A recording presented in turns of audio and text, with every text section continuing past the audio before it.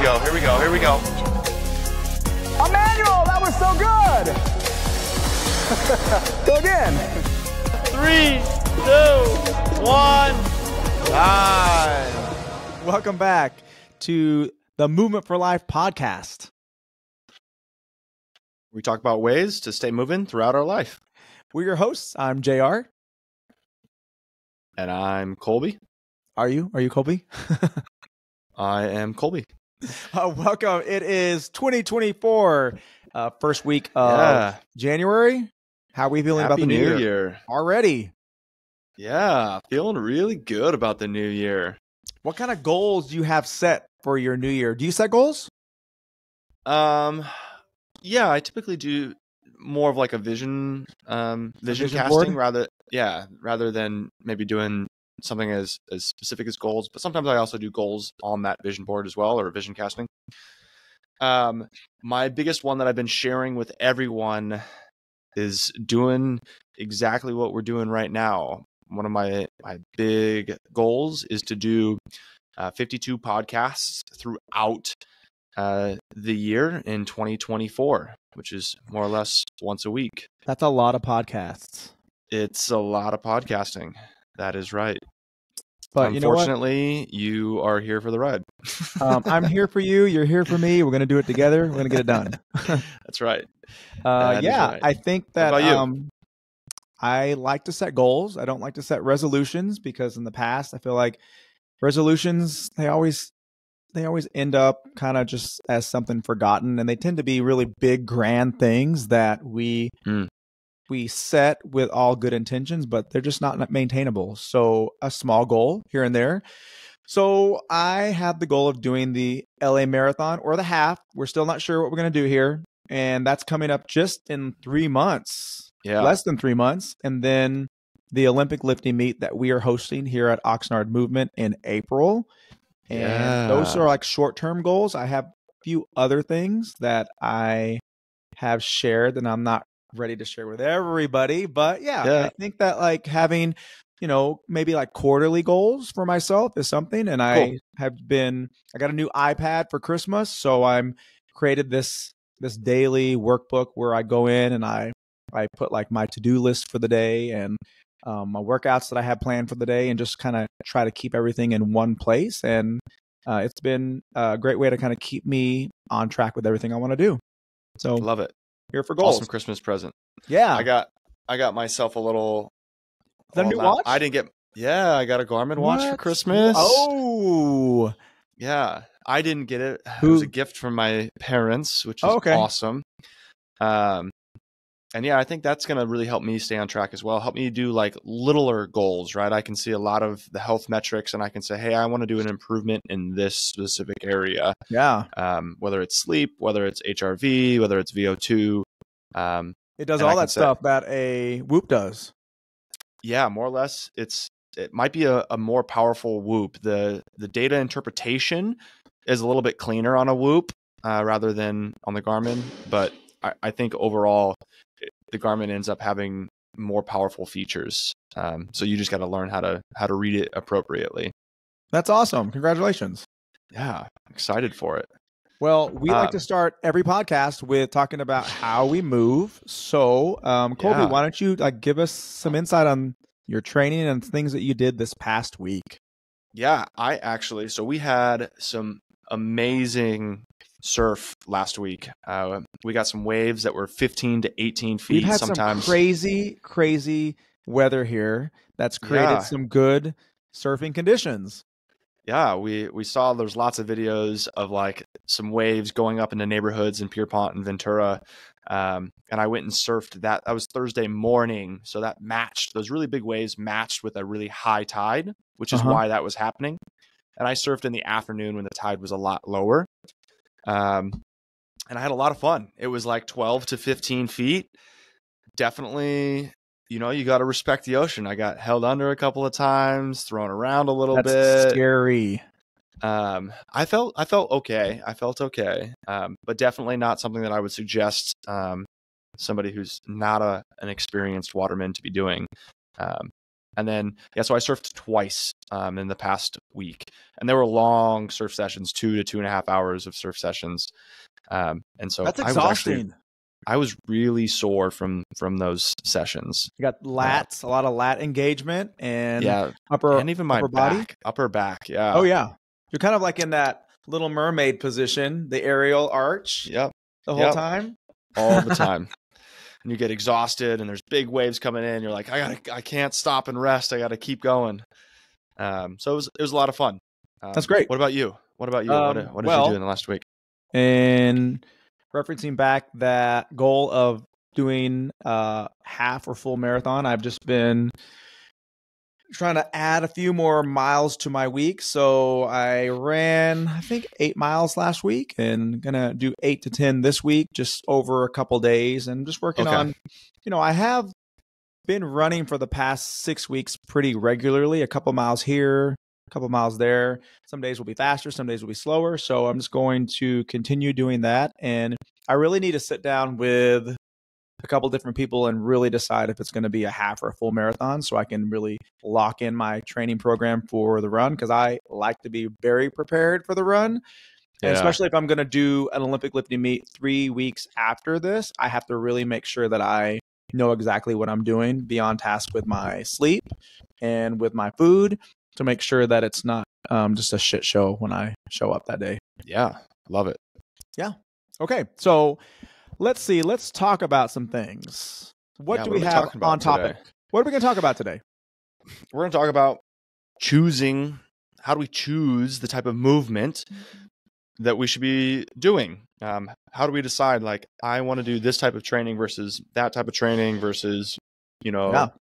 um, high intensity versus low intensity versus Orange Theory versus CrossFit versus any other hiking versus backpacking. Like, what? How do I figure out what kind of movement that I should do?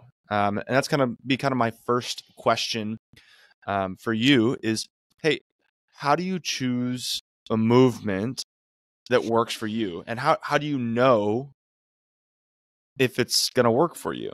Well, you don't always know. I don't always know. I mean, Okay. I'll look at something that looks fun.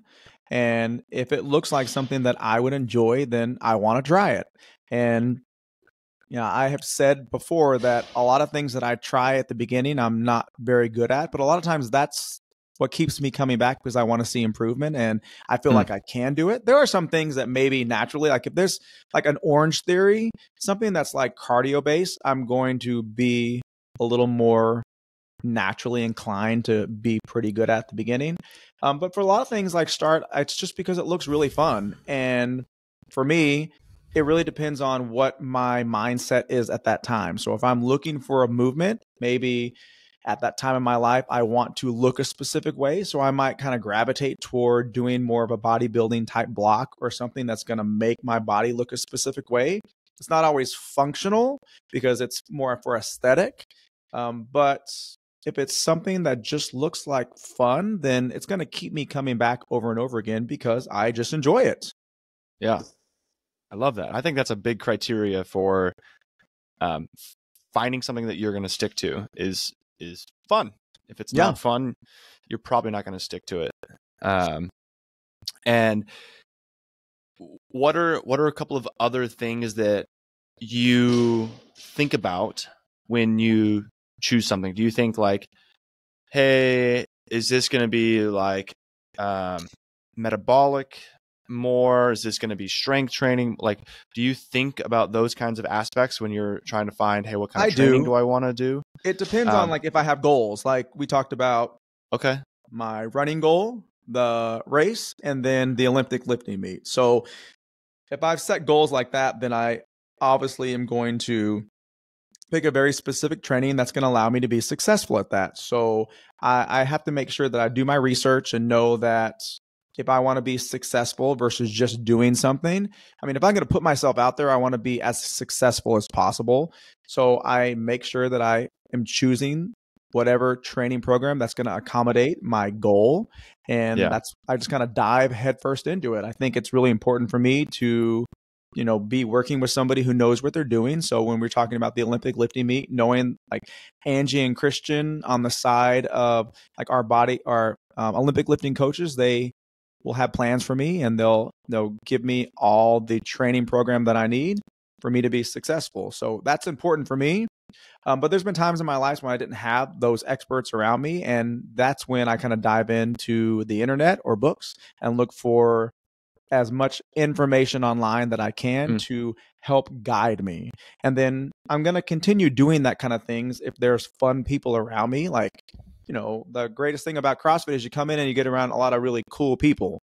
And so those are the things that keep me coming back to that even after the goal's done, just because I've, I've surrounded myself with really cool people I want to hang out with all the time. Yeah. Um, I, I am somebody is coming to mind. Actually, Carlos is coming to mind right now. Oh yeah, um, when I'm thinking about members. yeah, thinking about like you and I, I, maybe he does think about this, so maybe it would be fun to have him on at some point. Carlos does all sorts of crazy um, adventures, as yes, like climbing volcanoes to like ice pick climbing, um, to um, like multi-pitch climbs for rock climbing to multi-day uh, backpacking trips and I, I'm I don't know if he's necessarily thinking like, oh, you know, um, something that's bringing him back or the people that are doing it with him. But I think that for him, maybe it's like some of the excitement or the the thrill of doing something that I, I don't know, maybe is a little bit dangerous is actually um, is something that draws him to do it over and over and over again or, or more of it. Um, they so are adventures. They're adventures for him. So when he's doing all that stuff, he's going on an adventure with many times by himself or with a few people, and he meets a ton of people there. Like he just recently yeah. went to Greece and did a marathon there. He went with I think one person that he knew, and they just met up with all these like-minded people. Like he speaks Spanish, and so he ended up with all these Hispanic speaking people from all around the world world in Greece, and they hung out. And those are like folks that you're going to be lifelong friends with from a distance, of course. But yeah, I mean, yeah. it's it's one of those things where you you really kind of get addicted to the thrill of doing something that's fun, but also meeting new people. Mm, yeah, that's cool. Um, yeah, so there's there's yeah, I think training training goals or expectations or like finish point and then also maybe that excitement of hey this is something crazy or different or maybe dangerous or there's going to be right. new people i'm going to meet is is appealing to continue to do it yeah um okay i maybe i got a, a different question then for you is okay. um what are what are some different uh, criteria that you should be thinking about that'll help you maintain an active lifestyle long term? What are some different criteria? So if we talk about you know professional athletes, we we all are, are well aware that professional athletes have um, a, a clock, right? You can only be a professional athlete for so long. Um, so what are some some criteria or objectives so that whatever you choose to do, you could do it for a very long time? I think if we are making these recommendations for other folks, our listeners, I think setting small attainable goals over a longer period of time is something that's going to create sustainability versus going all in and making this big proclamation that I want to do this and then after that like what's left. So yeah. if we're talking about yeah, running, yeah. maybe it's you come in like, hey, I want to be able to do a 5K and I'm going to give myself three months to prepare for that. I've never ran before. And you know, at that point, you know, it's all about learning how to run correctly. What's the maintenance like?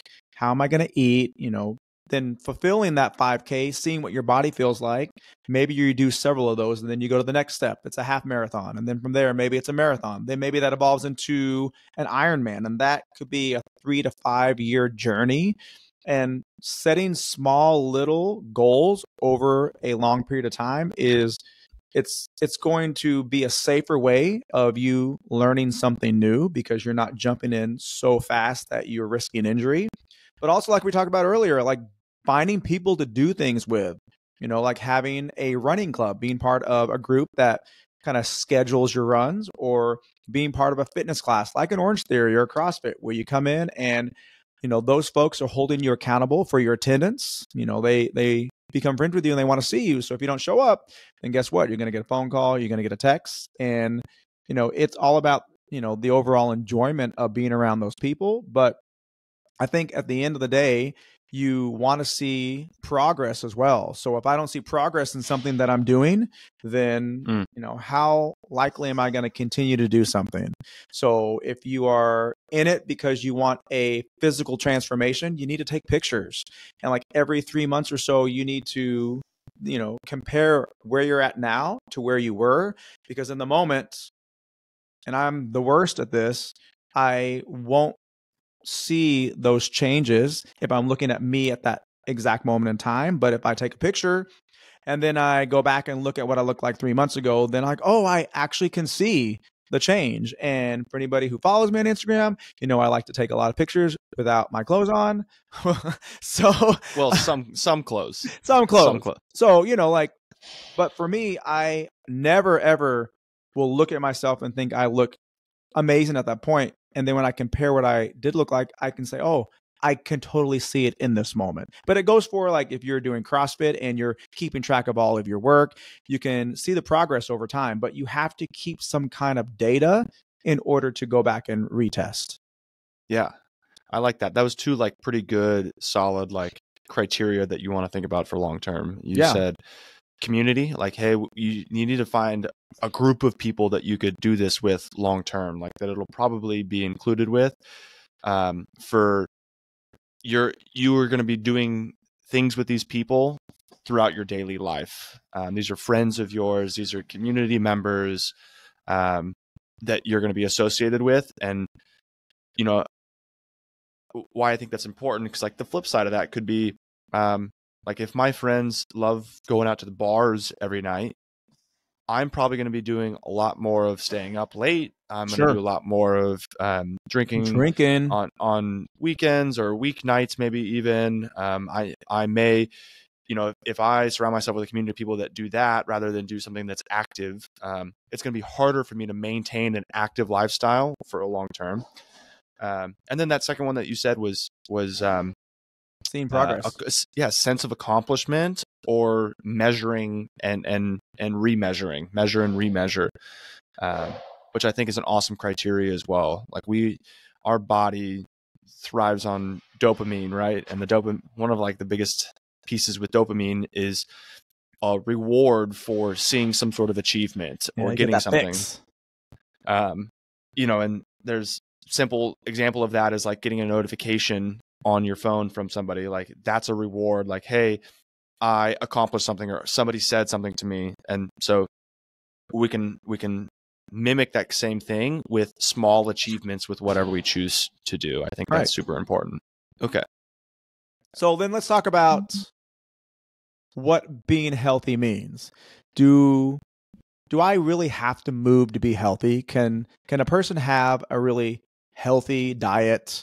Maybe they don't drink and call themselves healthy even though they're not moving? Like what what part of movement really plays in the overall aspect of mm. healthy living?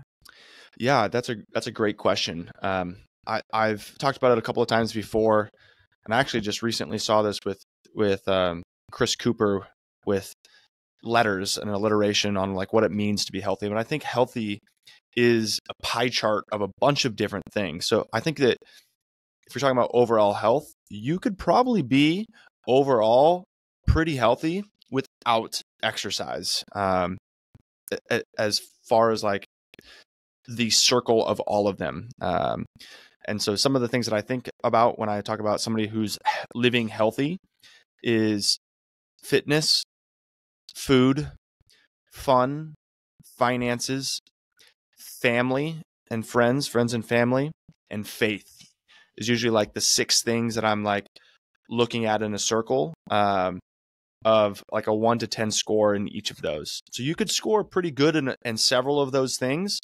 And maybe you're still like a three or four in fitness, but you score sevens or eights in a lot of the other categories. Yeah. I would still consider you a, a fit person. Okay. Um, I think that, and the same is true of like a very fit person, right? Like you could potentially be a 10 in fitness, but you've got a, a two in your Terrible friends diet. and family category. You've got a two in your, your food category. Um, you know, you, you don't manage your finances well. And you might not feel like, hey, I'm a healthy person. You're like, I have overall, I've, I've got terrible habits. So I, I think that it, it, adding more movement into uh, healthy living only boosts your health. Um, I, I, don't think that there's any way that it doing more of it's going to take away and, unless you neglect the other areas um, of what it means to be healthy. Okay. Uh, well, then let's talk about like different forms of fitness. So if we're comparing cardio yeah. to strength, and if we're looking at how that affects the body and how that improves like our quality of life um, what does like data suggest um, cardio? I mean we have two different kinds of cardio. We have low skill and high skill and then we have strength training. So how yeah. does that play into our overall health? That's a great question um, and the the general recommendation is a, a bare minimum there's there's two trains of thought, and I think that you probably are going to need both of them. Um, strength training is a massive indicator for longevity in older populations.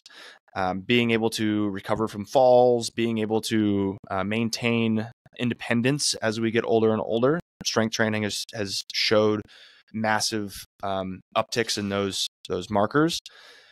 But then we also got to think about um, some metabolic conditioning or cardio, right? And how that affects our condition of the heart.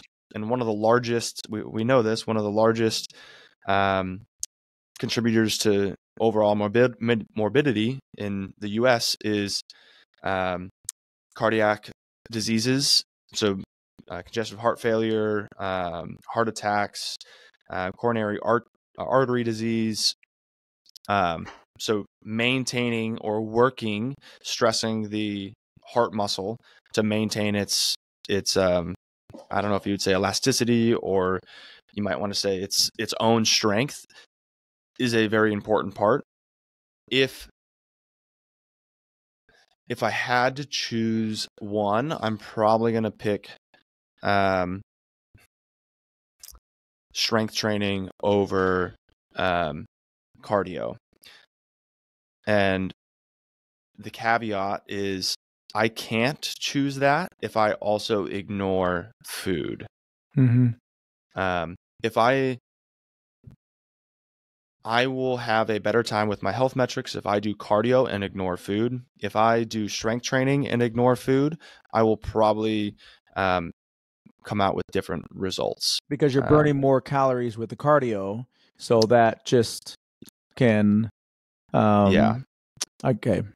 An active an active calorie might yeah. be a, a, much higher in a cardio activity, sustained energy output versus um, something in strength training where it's it's a a a lower overall calorie count for the active calories.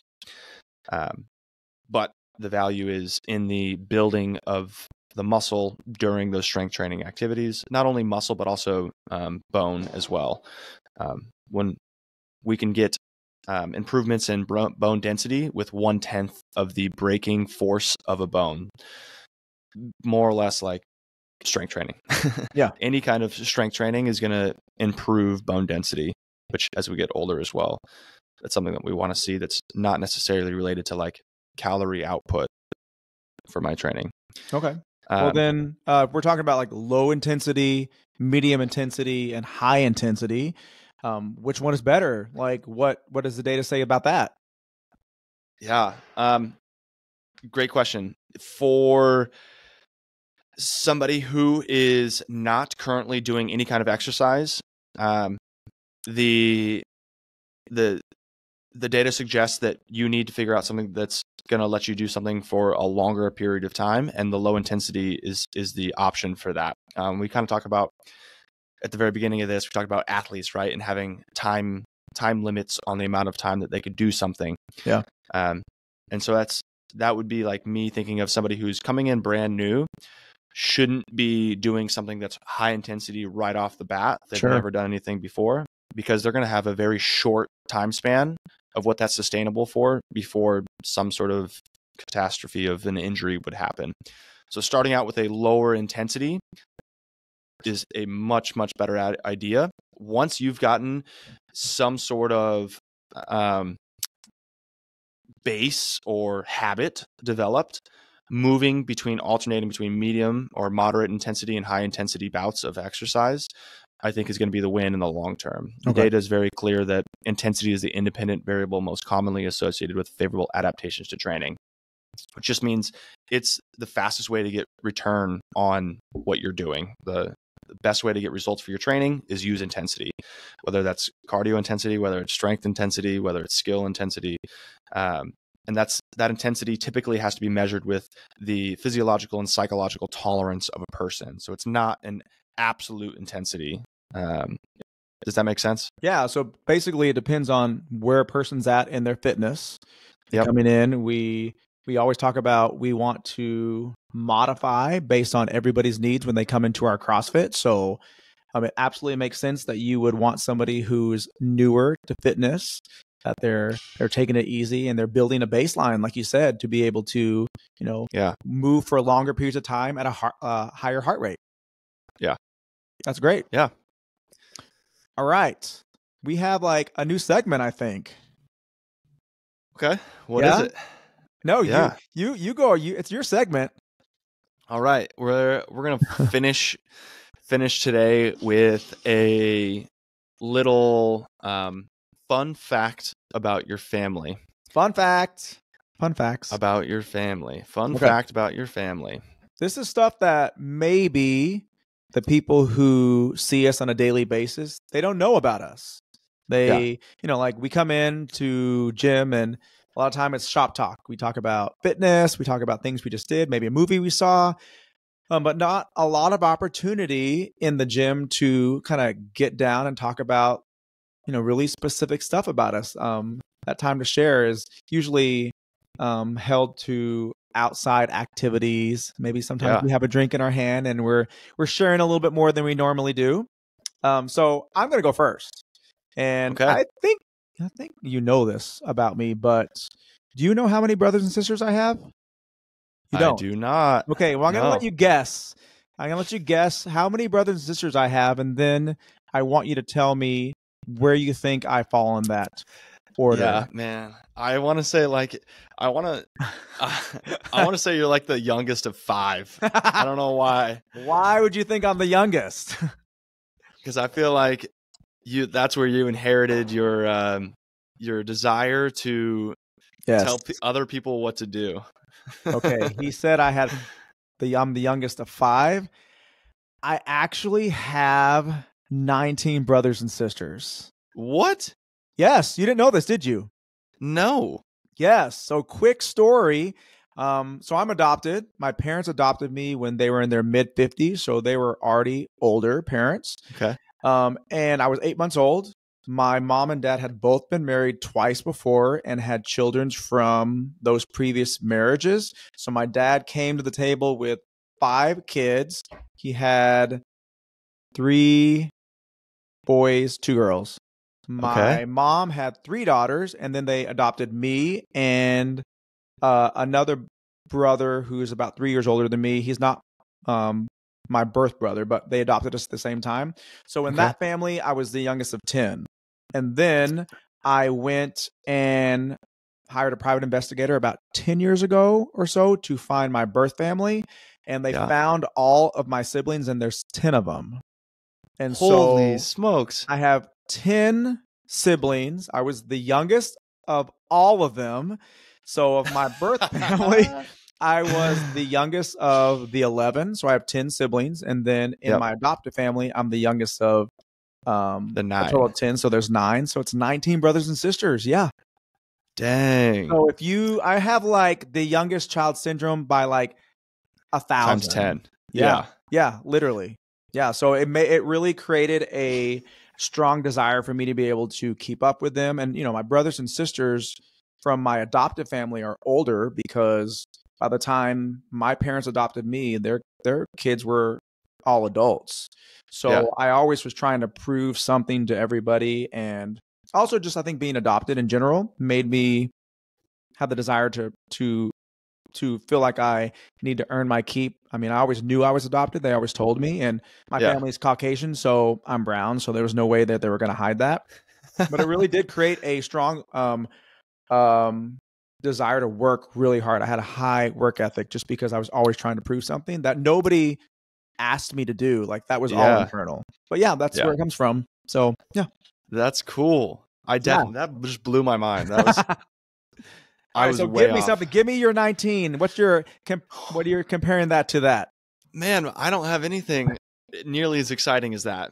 Um, I I was gonna. I have two different in in mind. My first one that most people don't know, and it's kind of fun, is my sister is actually pregnant right now, and she's due in about four months. Oh, nice. Um, and so I will be an uncle, hopefully in 2024. And that'll be Yeah. the first time, first time for me. All right, that's awesome. You're gonna be the Yeah. fun uncle. I'll be the funkle. Yeah. Yeah. Okay. and then what's the other one? You had a, you have a second one. Yeah, the second one is my mom. Some people know this, some people don't know this. My mom is a pretty competitive masters level CrossFitter. Oh, I didn't know that. Um, yeah, she got into CrossFit maybe four or five years after um, I started CrossFit. Um, and she's been to several different like Masters, the Legends competitions, No uh, Masters way. Fitness collectives. no, she went um, to MFC. Not this last year, but she's been to them in the past. Okay. Did Um, she go two years ago?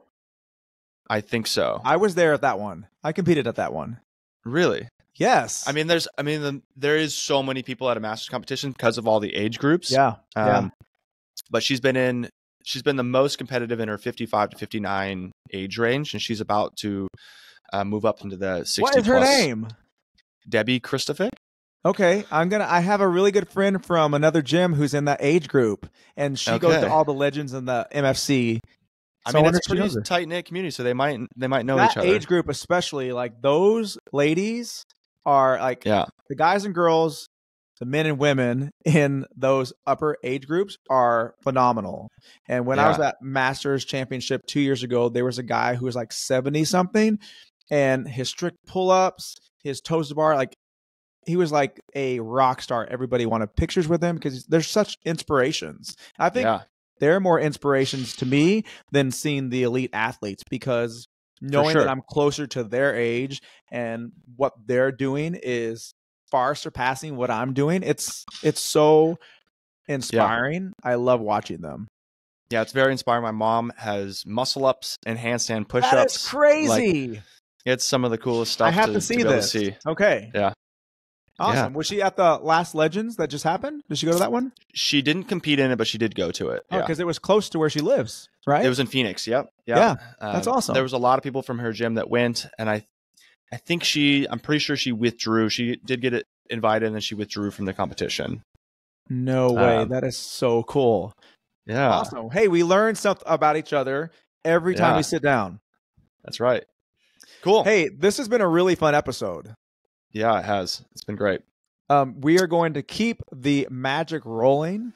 We have another episode coming next week. Um, if you like the podcast, we ask that you please subscribe, rate us.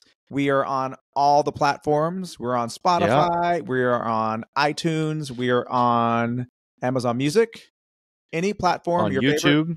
on you YouTube. YouTube? So if you want to watch us, see our faces, what we look like, what my hair is looking like, you're going to notice that Oh Kolby's hair is going to drastically change from week to week as you watch these podcasts. So take notice.